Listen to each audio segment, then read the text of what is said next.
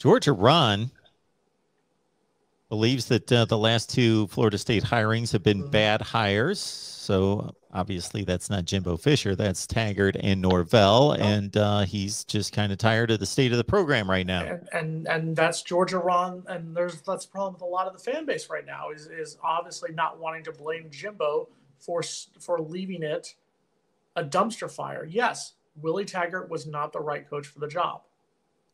Yes, Mike Norvell so far things could turn around, but right now has not shown that he is the coach for the job. Jimbo won the national title. And then after that, there is a slow downhill slide.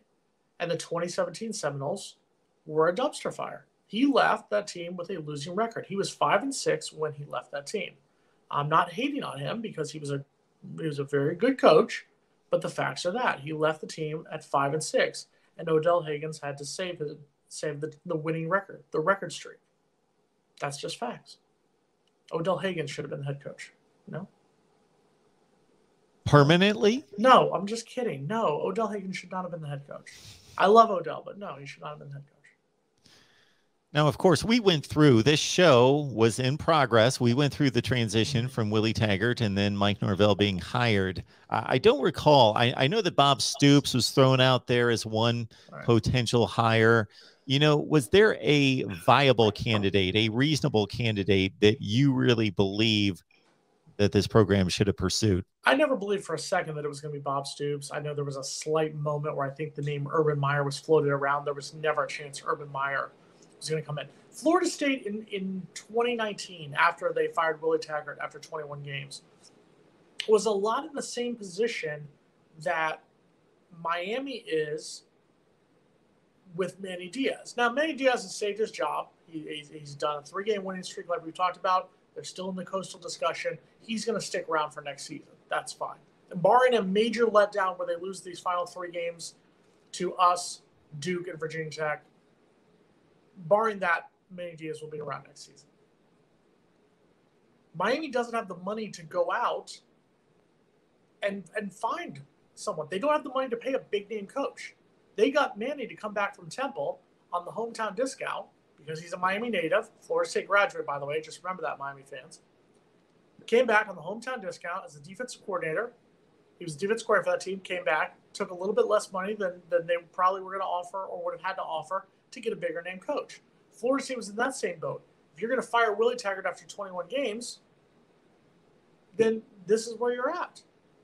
Yes, and and this is something right here thank you very much for that one. It is the first game without Bowden or Schnellenberger, both of them passing away in within the last eight months. So that that's going to be a big one. And and, and Coach Diaz has talked about that in the past, what Coach Bowden meant to him.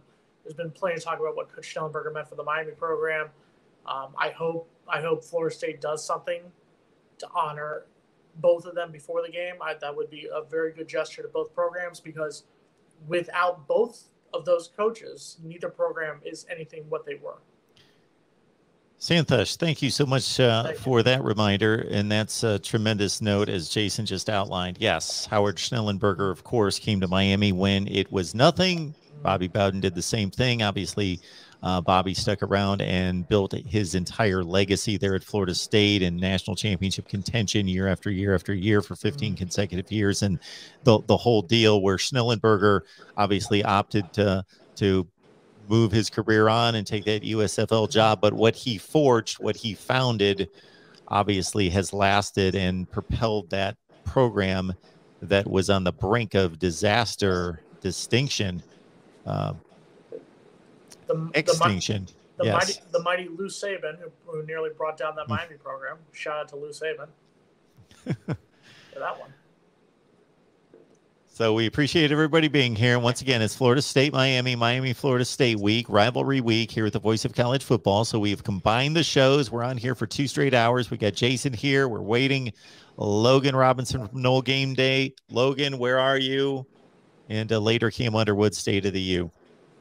Logan, Logan, I think is a little bit afraid. I'm going to call you out, Logan. If you're listening, you're going to calm down. See, Alex, thank you for your money, but see, this is this is dumb Miami fans right here. This is a typical Miami fan who you can tell has never stepped foot on the campus of the University of Miami.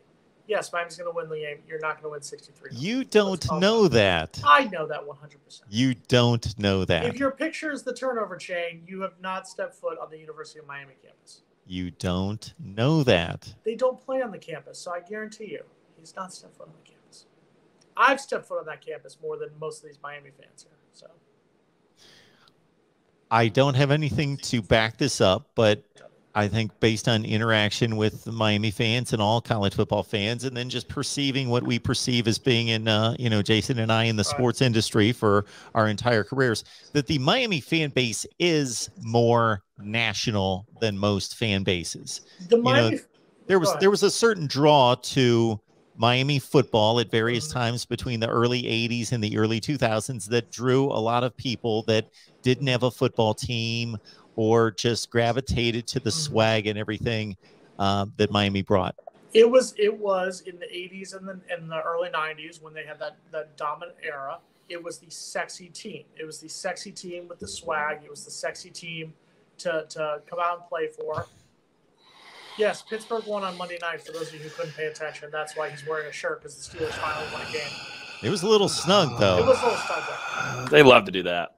Anyway, They love to make it interesting for the Yes, but- ratings. But, but but both both Miami at that time was that swag team 100%. But it's also a fact of most of their fans. It's a school that is a very expensive school. There's a reason I, I, accepted there's a reason I didn't go because it was about five times as much as Florida State. Just being honest with you, and it their fans, it's a city thing. It's you root for the Miami Hurricanes because you're from the city of Miami, unless you have ties to somewhere else. My parents went to Florida State. I grew up a Florida State fan.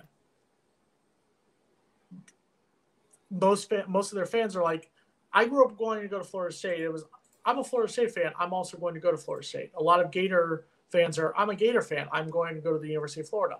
A lot of Miami fans are I'm a Miami Hurricanes fan.